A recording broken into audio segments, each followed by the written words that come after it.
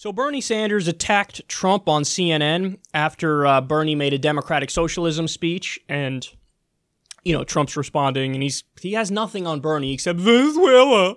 You like Venezuela, even though you don't, but you like Venezuela.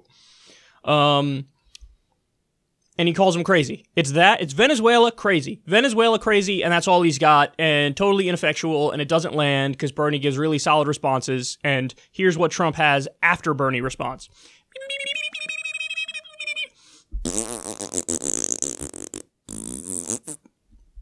So, um, Bernie went on CNN afterwards, and credit to Anderson Cooper for having Bernie on in this context because Bernie really used it as the bully pulpit.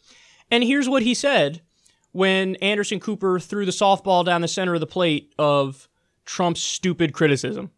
Yeah, it, it's. I mean, you are you are leaning into democratic socialism. Now, obviously, everybody's known you're democratic socialist, but uh, I mean, you are clearly trying to sort of explain what your view of what that means to uh, you know an American population and many people who see hear the socialism part, right. maybe not the democratic part, and you know President Trump ultimately will be yell- yelling Venezuela at you as much as possible.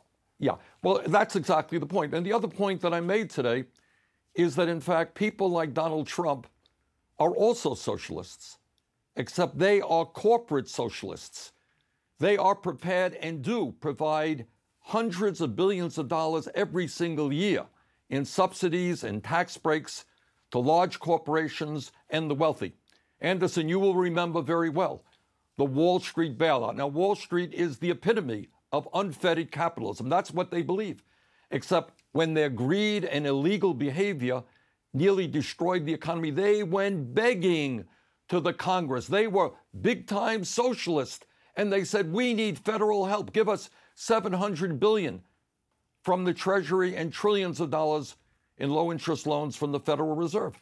You got the fossil fuel industry today, which is literally destroying the planet, and they get billions of dollars in subsidies and tax breaks. You have Amazon, owned by the wealthiest person in this country, Jeff Bezos, made $11 billion last year. That's what Amazon made in profits. They didn't pay a nickel in federal income taxes.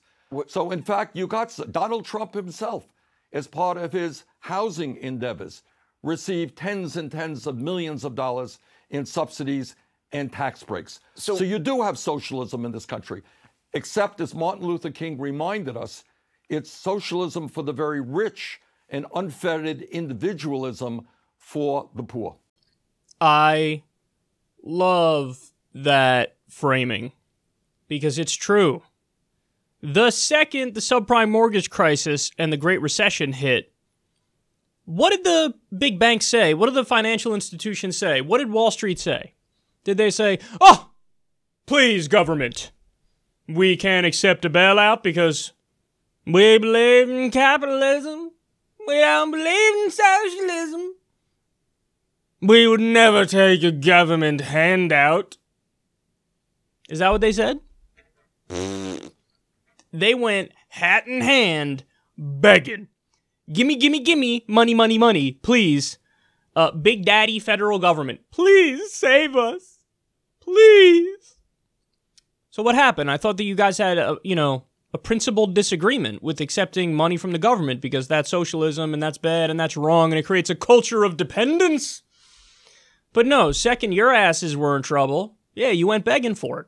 It's almost like you believe in it, but you only believe in it when it's convenient for you.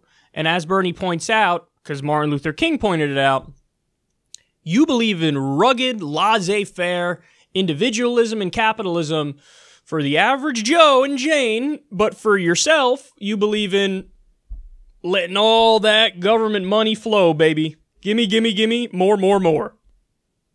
So, um, the framing is correct and the framing makes sense. And the the point is if the government money was good enough to bail out these uh, big financial institutions in Wall Street, well, why isn't the government money good enough to, I don't know, give people health care?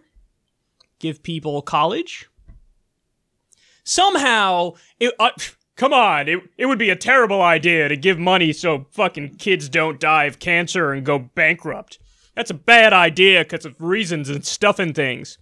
But oh, write a blank check to assholes who crash the economy out of their greed? And that's oh, totally cool, bro. No problem with doing that. No systemic issues or anything like that. I don't object to that on principle. That's uh, it's a good idea. Just give the assholes who, uh, out of recklessness and greed, destroy the economy. Give them whatever they want. No strings attached. No regulations. No goals that have to be met. No leverage rules. I love that framing because it's true. It's absolutely true. And so they can't argue against, you know, using government money to help regular people, working people. They can't argue against it because they already bought into the premise that pff, government money's totally fine as long as it helps the people that we want it to help, which is Wall Street and big pharma and the for profit health insurance companies and the military industrial complex and so on and so forth. So he's doing well, man. Bernie's strategy has been spot on recently. So, you know, you definitely can't say he's not doing everything he can to win this election because he really is. And uh, I think his campaign manager is awesome. And I think the direction he's been going in recently is great. The only slight disagreement that I had, which I brought up on the secular talking smack that I did the other day, is um, I, if I was Bernie, I just never would have opened that door in the first place by saying, oh, I'm a democratic socialist, because he's not. He's a social democrat. At least if you believe what he says when he goes policy for policy, that's social democracy, not democratic socialism. But since he opened that door, okay, whatever. So you opened the door and you kind of redefined it, I guess. But um, he's repping it and he's arguing for it. And this is something the left hasn't done. Certainly, elected politicians on the left haven't done in a long time.